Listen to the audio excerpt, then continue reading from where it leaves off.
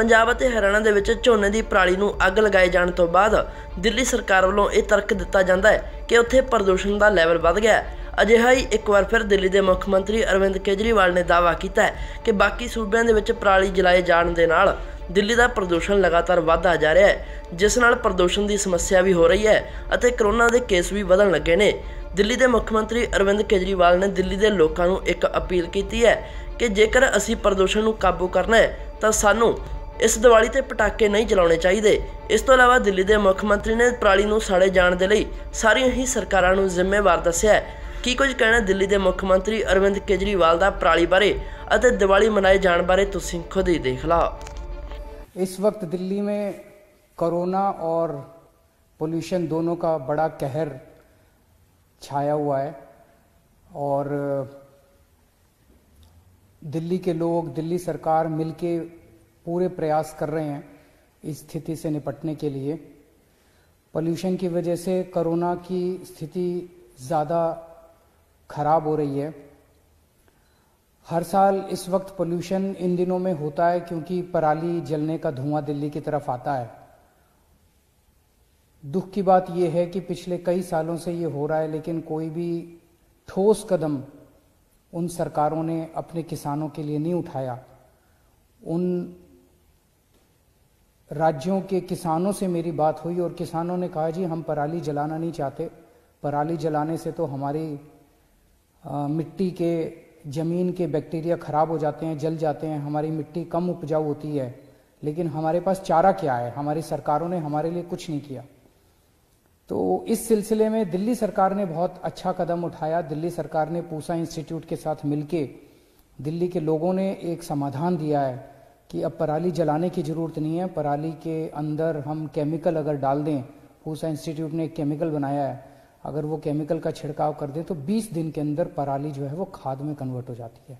इससे अच्छी बात और क्या हो सकती है? तो मैं समझता हूँ कि अब ये साल आखिरी साल होना चाहिए जब हम इस धुएँ से परेशान हैं। अगली साल से अब किसी भी सरकार के पास ये बहाना नहीं है कि भाई हम क्या करें? पराली जलाने का हमारे पास कोई चारा नहीं है।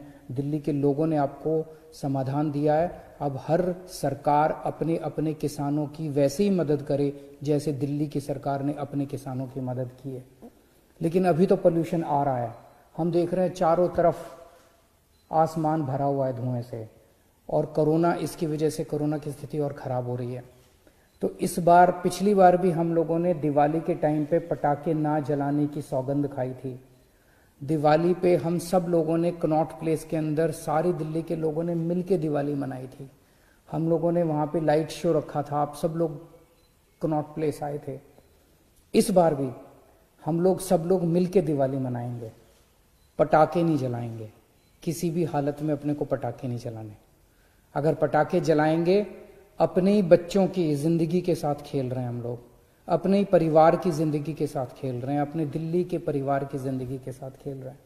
पटाखे नहीं जलाने, दिवाली एक साथ मनाएँगे। इस बार दिवाली के लिए हम अलग इंतज़ाम कर रहे हैं। दिवाली वाले दिन, चौदह तारीख को सात बज के उनतालीस मिनट से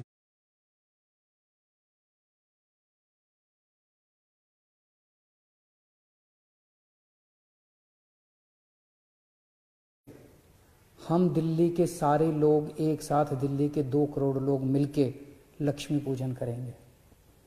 मैं अपने मंत्रियों के साथ दिल्ली में एक जगह लक्ष्मी पूजन शुरू करूँगा सात बज के उनतालीस मिनट पे। कुछ टीवी चैनल उसका सीधा प्रसारण करेंगे।